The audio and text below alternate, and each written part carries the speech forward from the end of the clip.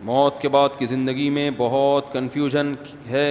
क्या कब्र में जाने के बाद नेक बंदों को जन्नत में भेज दिया जाएगा गुनागारों को जहन्नम में और कब्र में अजाब होगा। और अगर मरने के बाद हिसाब किताब शुरू हो जाएगा तो रोज़े क़्यामत में हिसाब, कब्र के बाद जो हिसाब व किताब है, वो पूरा हिसाब नहीं है, वो असल में क़्यामत के दिन ही होगा।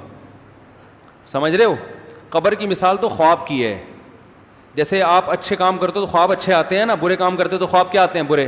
तो कब्र में भी ऐसा ही है कि अच्छे काम किए होंगे तो वहाँ जो बरज़ की कैफियत होगी, वो कैफियत आप पर अच्छी होंगी।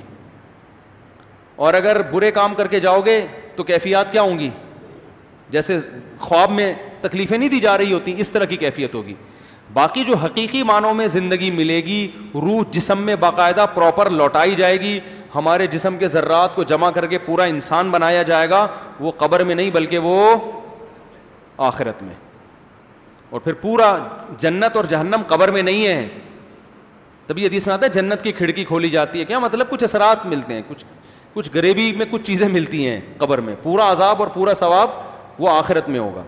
हाँ ये ज़रूर है कि बहुत से लोग ऐसे हैं जिनके आमाल ज़्यादा बुरे नहीं थे तो कब्र में जो तकलीफ़ हुई, उसकी वजह पे आखिरत की सज़ा ख़त्म हो चुकी होगी उनकी। क्योंकि आखिरत में जब हिसाब व किताब होगा तो उस हिसाब में कब्र के अजाब को भी ला तराजू में रखा जाएगा।